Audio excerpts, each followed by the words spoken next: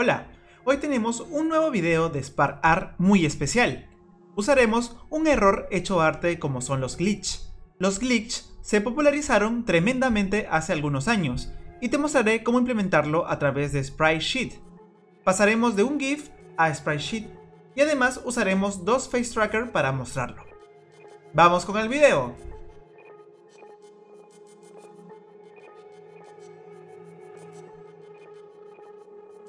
Bien, abrimos nuestra herramienta SparkArt.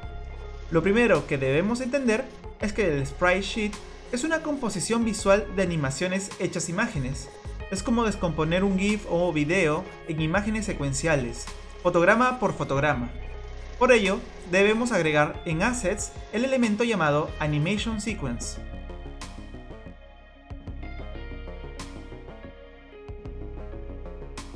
Si vamos a sus propiedades, veremos que existe para incluir textura. Eso lo vamos a hacer más adelante.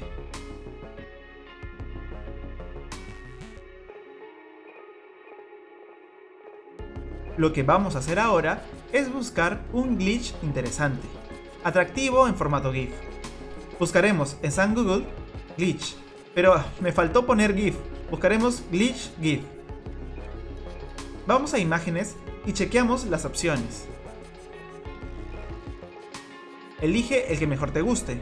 Yo prefiero tener un glitch que ocupe todas sus dimensiones.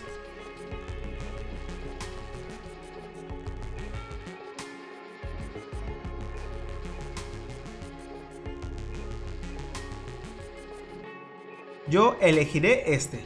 Me parece una mezcla estupenda de colores entre verde, azul y rojo.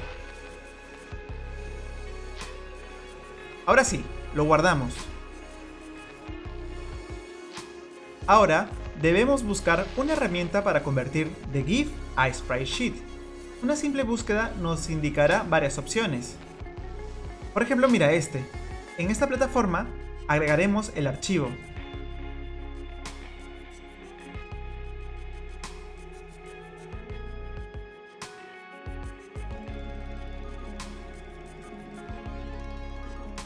Paso siguiente, ya nos mostrará el archivo convertido debemos hacer otro ajuste, en el peso. Este archivo pesa casi un mega, demasiado realmente. Pero primero, alinearemos el proyecto de manera horizontal para que esté relacionado correctamente con nuestro trabajo en SparkArt.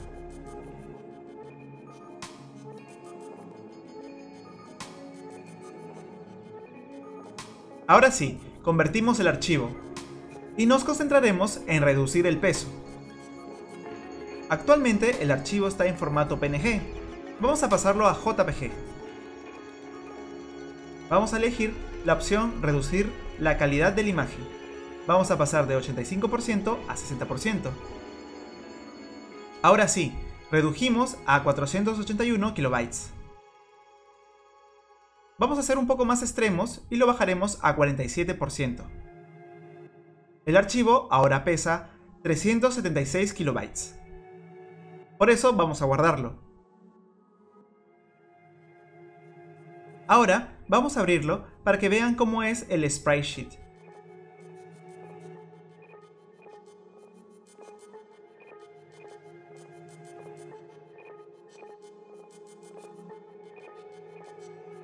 Regresamos a SparkArt y vamos a agregar un elemento necesario que será el material.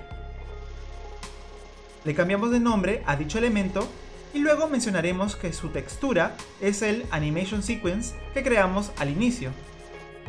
Como verán, ambos elementos se conectan entre sí. Ahora sí, en Animation Sequence agregaremos el glitch sprite.jpg. Si se dan cuenta, aún no pasa nada. Obviamente es porque aún no uso un tracker que pueda conectar toda la experiencia que vamos trabajando. Por ello, crearemos un Face Tracker que es el elemento para que nuestro rostro sea un marcador. Y luego agregaremos un Face Mesh. Dentro del Face Mesh conectaremos el material que creamos anteriormente llamado Glitch. ¡Ajá! Ya se ve la experiencia. La animación está muy acelerada para mi gusto. Le bajamos un poco sus FPS.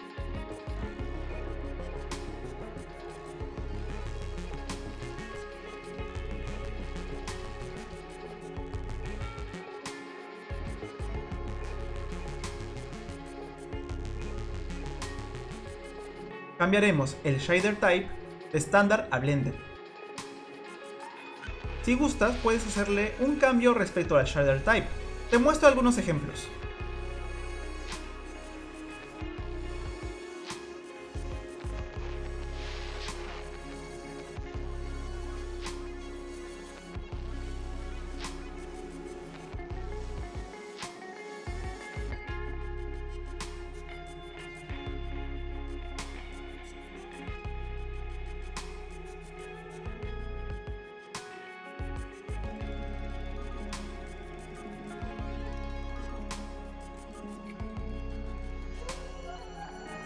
Ahora vamos a ver cómo hacer que tu efecto pueda ser usado en varios rostros.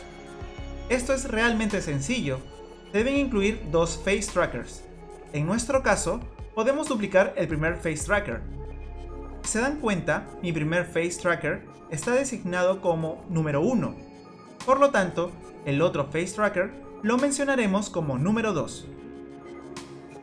Genial, ahora sí, todo está listo. Vamos a probarlo.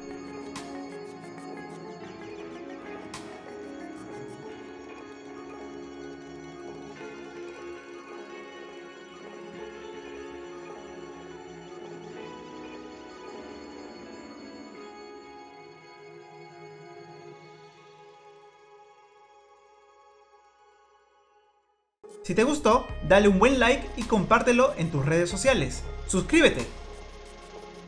Esto es todo por el momento. Emilius BGS se despide. Bye.